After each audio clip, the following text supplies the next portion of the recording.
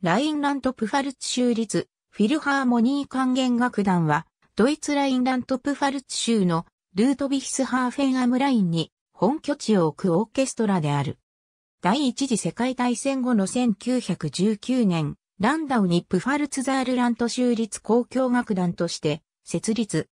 1923年のハイパーインフレに直面したが、プファルツ管弦楽団と改称して有限会社の形をとり、合理化に成功。同時に本拠地を現在のルードビヒスハーフェンに移す。ヘルマン・アーベントロートやリヒャルト・シュトラウスらの著名な指揮者を客演に招いた。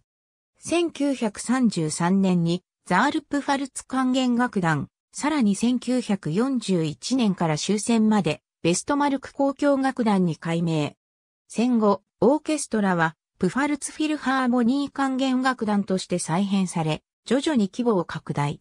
1974年から州の公演を受けるようになった。1978年にクリストフ・エッシェンバッハが芸術監督に就任し、オーケストラの国際的な名声を高めた。この時期に楽団名をラインラント・プファルツ州立フィルハーモニー管弦楽団としている。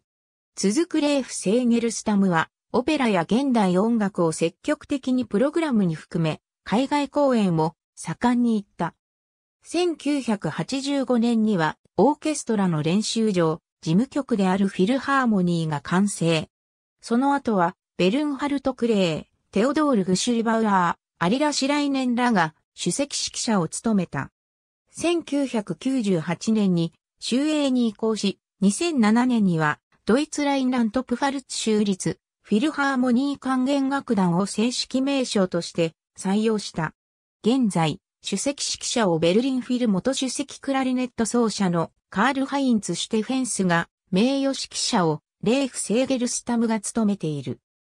現代音楽の演奏に定評があり、クレーベ、リーム、ゲンツマー、ミュラーイコールビーラント、シュネーベル、ビッティンガー、ルーフェンディー、キルシュナー、ラスカトフ、ザイターらの作品の初演歴がある。